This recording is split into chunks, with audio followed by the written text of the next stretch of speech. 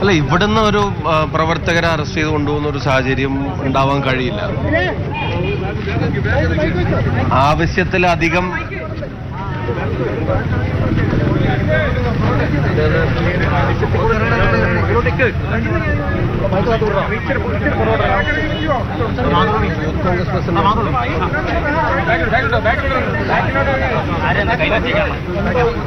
പോലീസുമായി സംസാരിച്ചിരുന്നു. അതിനുശേഷം മടങ്ങിയെത്തിയ ഷാഫി പറമ്പിലാണ് ഇപ്പോൾ സംസാരിക്കുന്നത് ഈ പോലീസ് മുതിർന്ന പോലീസ് നേതാക്കൾ തന്നെ ഇവിടേക്ക് എത്തിയിരുന്നു.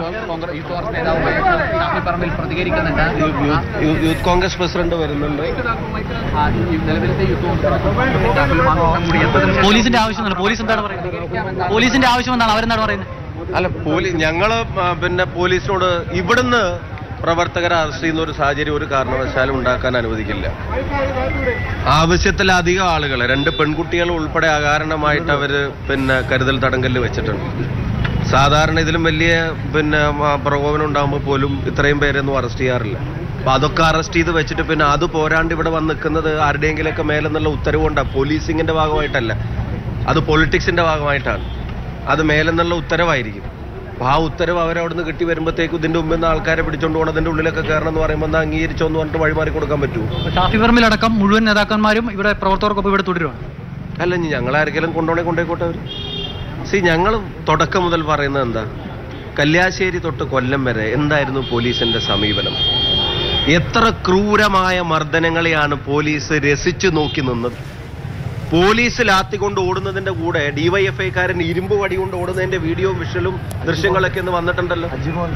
ഭിന്നശേഷിക്കാരനായ ഒരു ചെറുപ്പക്കാരനെ പുറയിന്ന് ചവിട്ടി മറിക്കുന്നതിന്റെ അപ്പോഴൊക്കെ പോലീസിന്റെ ഈ ആവേശം എവിടെയായിരുന്നു? കോഴിക്കോട് സമരം ഉണ്ടായപ്പോ പോലീസ് ആ പെൺകുട്ടികളെ ചേർത്ത് പിടിച്ചിട്ട് തേനെ പാൽ കരയല്ല് മുത്ത് എന്നൊക്കെ പറയുന്ന പോലീസിന്റെ സംയമനം.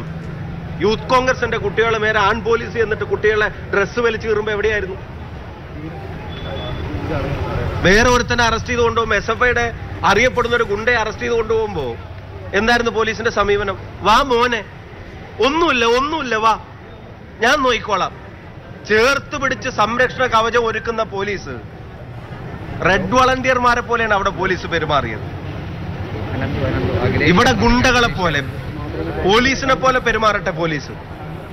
അപ്പൊ ഞങ്ങൾ നിയമം അംഗീകരിക്കാൻ തയ്യാറാണ്. എന്തായാലും രാഹുലിനെ അടക്കമുള്ള ഒരു അറസ്റ്റ് ചെയ്യണമെന്നാണ് ആവശ്യം അറസ്റ്റ് ചെയ്യാൻ അനുവദിക്കില്ല. രാഹുലിനെ അടക്കം അറസ്റ്റ് ചെയ്യണമെന്നാണ് ഇവിടുന്ന് ഇവിടുന്ന് ഇവിടുന്ന് ആരെയും സുഗമമായിട്ട് ഇവിടുന്ന് ആരെയും അറസ്റ്റ് ചെയ്ത് കൊണ്ടുപോകാൻ അവർ അനുവദിക്കുന്ന പ്രശ്നമില്ല. രാഹുലിനെ അടക്കം അറസ്റ്റ് ചെയ്യണമെന്നുള്ള ആവശ്യമുണ്ട് പോലീസിന്. അല്ല അവർക്ക് അങ്ങനെ പല ആഗ്രഹങ്ങളും ഉണ്ടാവും. ഇച്ചിരി അത്യാഗ്രഹമാണ്